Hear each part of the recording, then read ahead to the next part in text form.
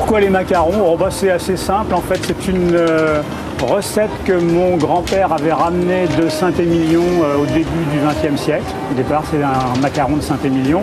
C'est une recette qui est restée dans la famille. hein. Mon grand-père les a utilisés. Mon père aussi a été dans la biscuiterie. On l'avait mis un petit peu de, côté il y a une vingtaine d'années, on l'a ressorti euh, sous, cette forme particulière qui consiste à les fabriquer donc en frais de- devant les gens.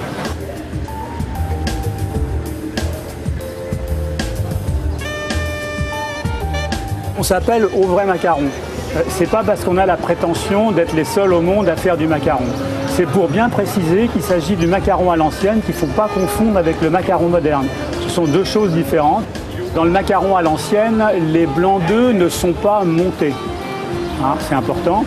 Et la deuxième différence, c'est qu'on a deux fois plus de fruits que de sucre. Avec ces trois ingrédients, euh, fruits, blanc d'œuf et sucre, il est moelleux. hein. Son aspect n'est pas lisse, il est un peu craquelé, mais il est complètement moelleux, il se suffit à lui-même.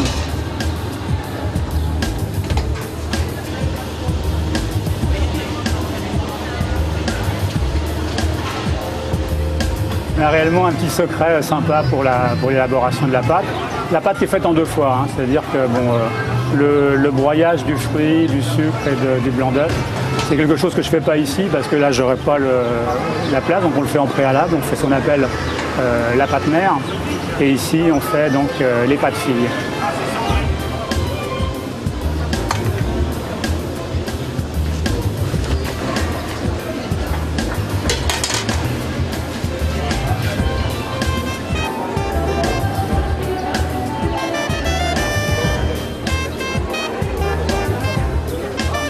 Ma femme, elle, grignote beaucoup plus que moi finalement.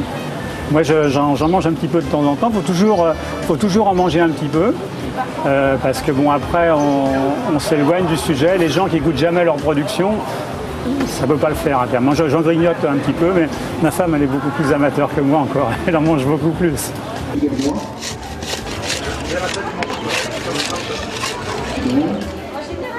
Exactement. Les filles sont en train de l'embarquer. Je, murs, tu sais.